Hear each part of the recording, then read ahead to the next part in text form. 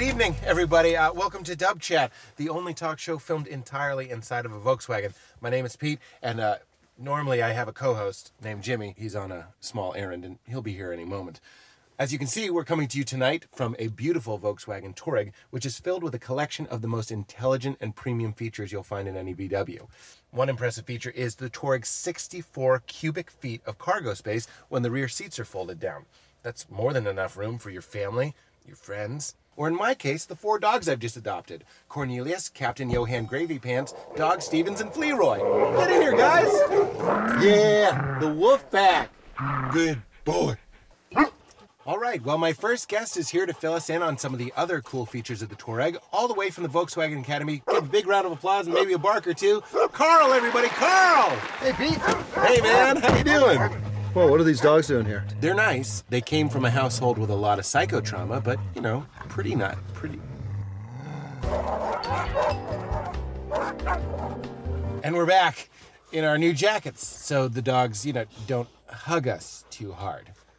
Carl, why don't you start by telling us about Touareg's available navigation system? Touareg has the most advanced of Volkswagen's available navigation systems. Most competitors use complicated dials or uh, other interfaces, but Touareg keeps it simple with an available, easy to use 8 inch touchscreen with full color display and striking 3D landmarks. You also get turn by turn directions right in the trip computer. So, say you're a typical dad and you're driving your son Steven to karate practice, but you can't remember where you're going because normally mom takes Steven to karate practice. It doesn't matter because the navigation system will tell you where karate practice is. Yeah, but this is the great thing. It also has voice command. For instance, you could say, I need coffee, and the system will find the nearest coffee shop to your location. Voice commands? I use those on the boys, like sit, roll over, attack Carl! Just kidding, Carl. They only speak German. They don't listen to me. If they're gonna attack you, it'll be on their own instinct. So, Carl, what is your favorite feature of the Touareg? I think my favorite is probably the available panoramic sunroof. It's huge, over 12 square feet. That's almost triple the size of most sunroofs.